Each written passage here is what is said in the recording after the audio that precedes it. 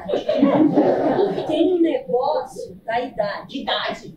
Não temos a atriz para fazer a personagem de 80 anos. Só isso. Meu lugarzinho, que bom receber vocês aqui no Teatro Renaissance, no Benditas Mulheres. Sempre é um prazer receber pessoas que difundem a cultura nesse país e vocês, vocês são guerreiros em tudo.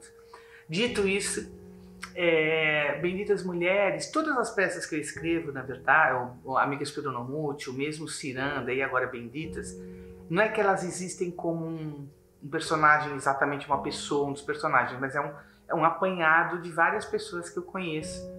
E aí eu monto um, uma narrativa, né? Eu, eu crio uma narrativa.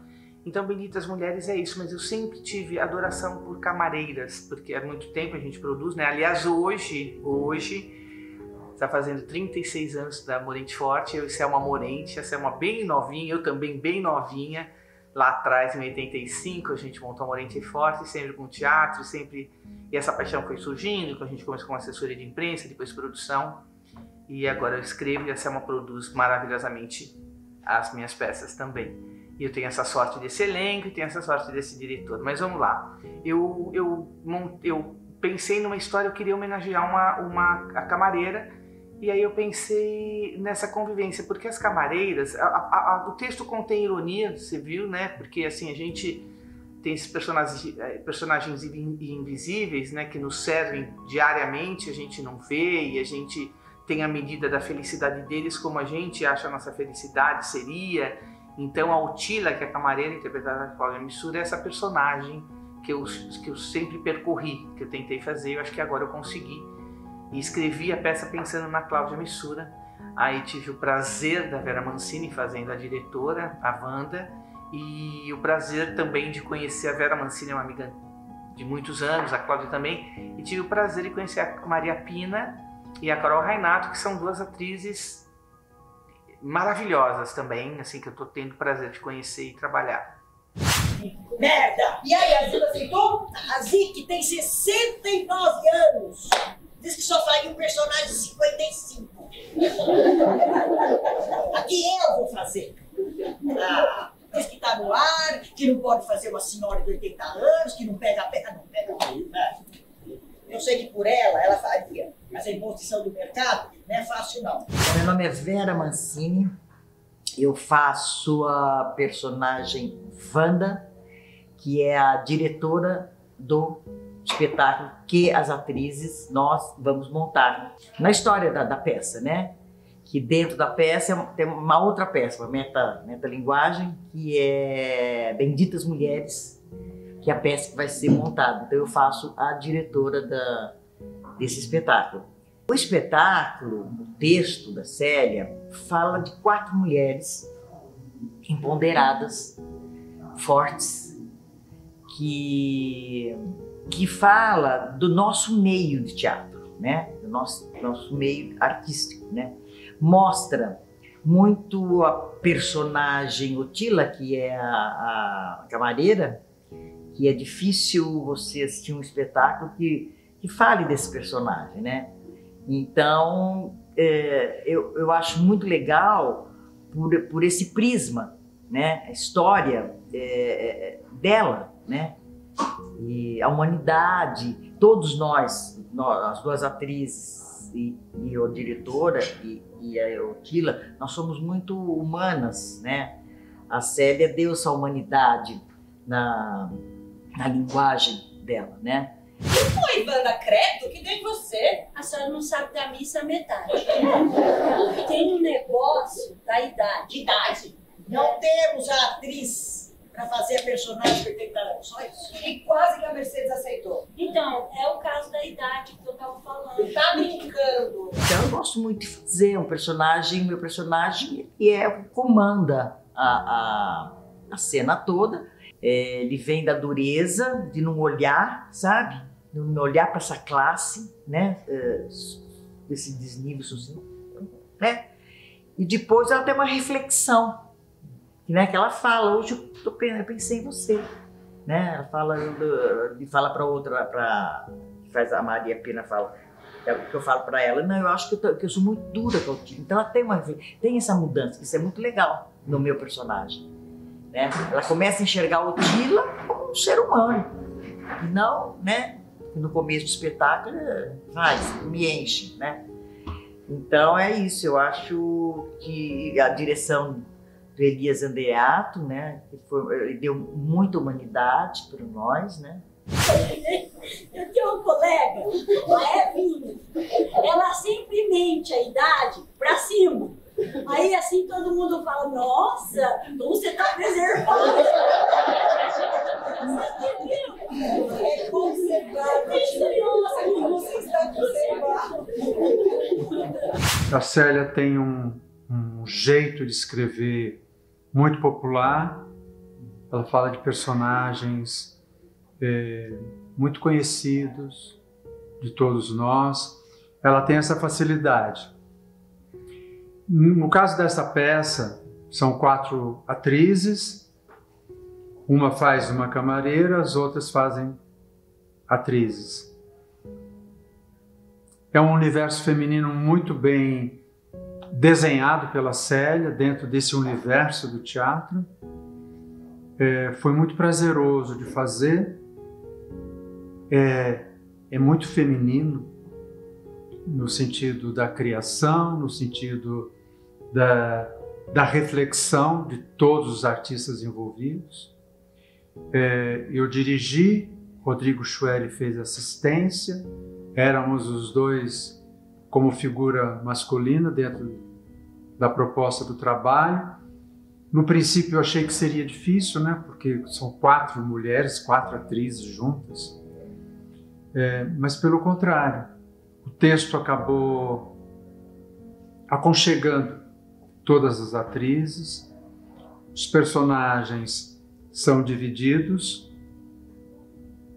não vou dizer com a mesma importância na, na história, sendo que o papel da camareira é o protagonista central né, do, do da trama. E no, tive receio, falei assim: meu Deus, isso vai gerar uma, um conflito, um, ciúme, ou enfim, uma um desconforto das outras atrizes com a reação do público. Não, acabou dando tudo certo. Então, o dirigir essa peça com quatro mulheres, fora todas as mulheres da produção da Morente Forte, acabou sendo fácil. Vocês não vão tomar chá? Vamos, já que não tem gin. É, saúde. Ó, Paro vontade de julgar meu marido. Tá bom. E eu não tenho a menor vontade de explicar nada da minha vida pra Tá você, Sara. certo, dona Ô, tia, fica na sua, por favor. Zara! E a intenção também era falar desse universo do teatro, não de uma forma é, complexa ou profunda. É, pelo contrário, que a gente queria que o público mais ou menos entendesse como é esse processo criativo, o, o convívio de um elenco durante os ensaios. Então a peça, na verdade, ela tem essa preocupação em mostrar ao espectador como se dá uh, a feitura de uma peça de teatro. O que foi? Chegou aqui me agredindo, falando um monte de coisa que não tem nada a ver, Sara. O que que você quer?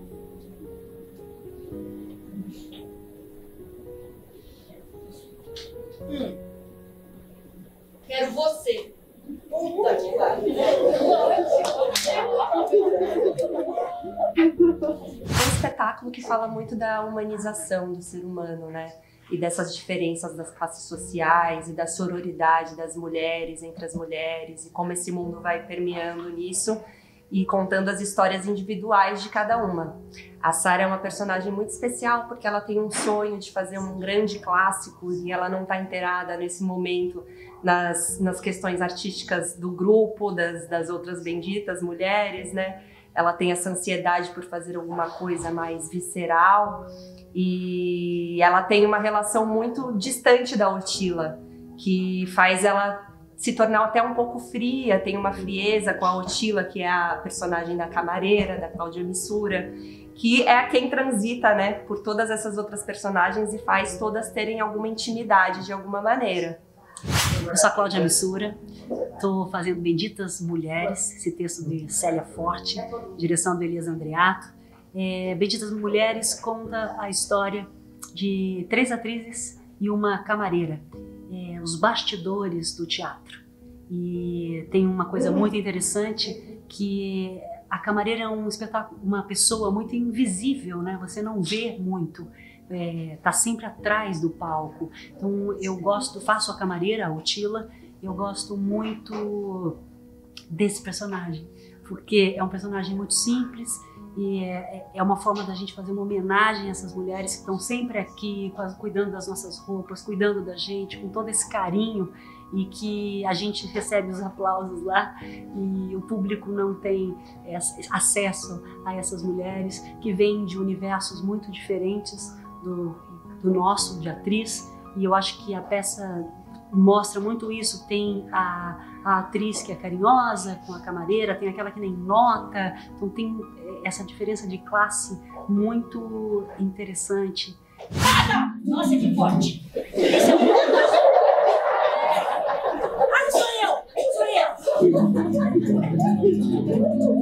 Quando eu! Cheguei no Brasil! Em 56,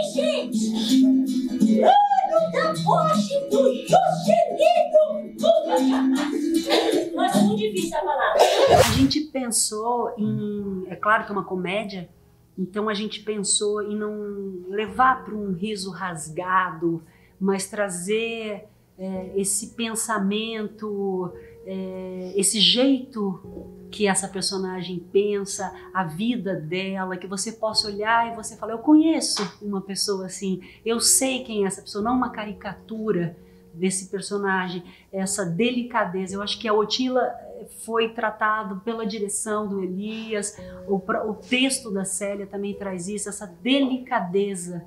É, dessa mulher, né? Tão íntegra, tão trabalhadora, que pega trem, que pega ônibus para ir para o teatro, que se relaciona com níveis sociais tão diferentes, que, que se coloca, que tenta o diálogo com cada pessoa, que se envolve, que está presente.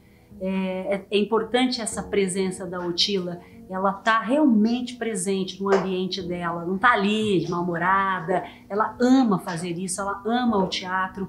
E a composição foi toda baseada nessas delicadezas, para que a gente pudesse chegar é, no público com muito amor.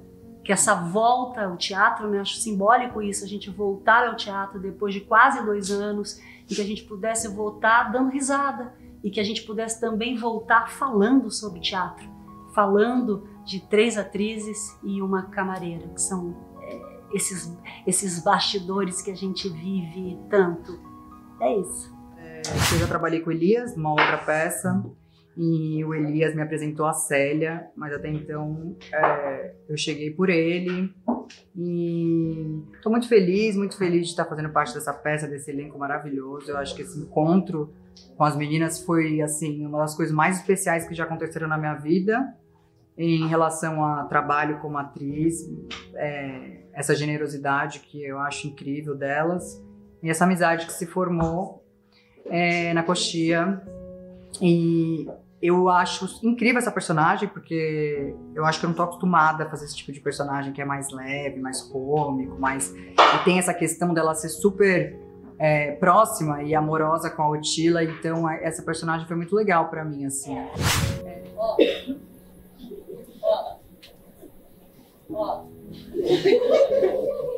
Ó.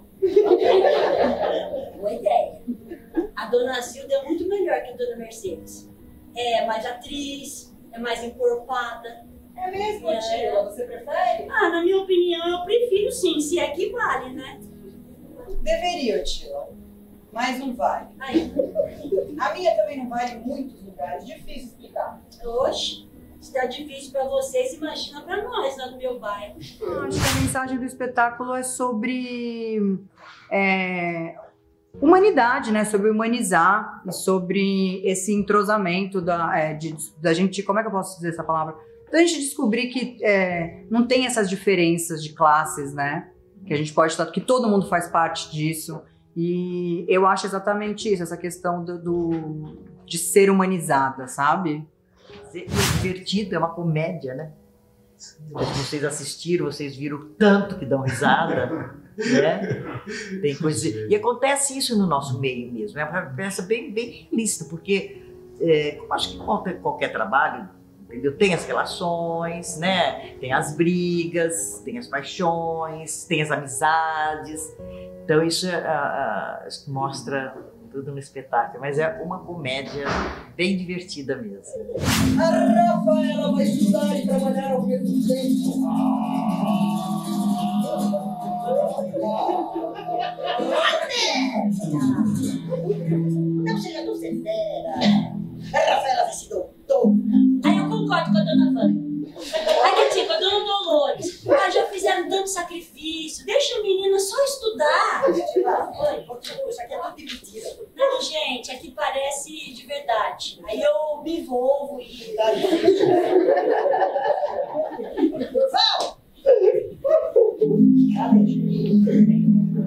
Então, o que eu quis mostrar são esses dois mundos que se fundem e se completam, que um não vive sem o outro, né? Um que paga, outro que recebe, mas um que serve, outro que é servido.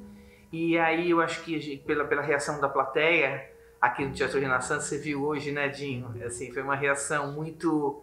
É, fiquei muito emocionada, porque o público entende, entendeu perfeitamente o que eu quis dizer, eu quis mostrar com esta peça, assim. É para divertir, as pessoas riem muito, porque tem esse, esse embate, fica engraçado, as pessoas riem, mas as pessoas se emocionam e aí depois as pessoas riem e falam assim, eu tô rindo do que exatamente? Do que que eu tô rindo? Será que é para rir ou é para chorar? Mas elas conduzem com uma maestria e, e assim e, e, através do maestro Elias Andreato se tornou isso a música linda, a trilha linda do Jonathan Harold, que inclusive o Elias escreveu uma letra, a Célia Giordani canta no início uma letra que ele escreveu para mim, da minha peça me emocionou muito. Aí a Célia Jordani canta com uma música belíssima do Jonathan. E, e assim vai. Eu só saí minutos já te virar uma soda. Dona Sara, ela falou umas coisas. Ô, Gila! Ah, Júlia, vamos ler o texto. É, tem razão. Quero agradecer todo mundo que, que fez isso, né? São quatro atrizes, né, Dinho? E quantas pessoas na, na ficha técnica é, muitas pessoas, a Magali aqui, a Marta Lozano, a Beth, a Thaís, assessoria de imprensa, é, a Alceni, a Dani Angelotti, nossa, é uma, é uma infinidade. O, Rodrigo Schwery, que fez assistência do Elias, que é maravilhoso, e fez as fotos também, a Jade, que faz os vídeos. Por que, que eu estou dizendo isso, gente? Porque teatro é assim. Nós estamos voltando, estamos voltando com tudo e graças a Deus tem a imprensa para divulgar, tem o público para vir, que é disso que a gente sobrevive a gente precisa do público na plateia. Sempre com máscara, não tirar máscara de jeito nenhum. E a gente pede o comprovante da vacina. E é isso, vem no teatro, não só aqui no Renaissance, vai, vem em todos os teatros, tem muitos teatros por aí já lotados e, e servindo a você, público. E gente humilde chorando, porque não consegue pagar com seu salário nem os quintos de suas roupas. Nossa, arrepiei. Olha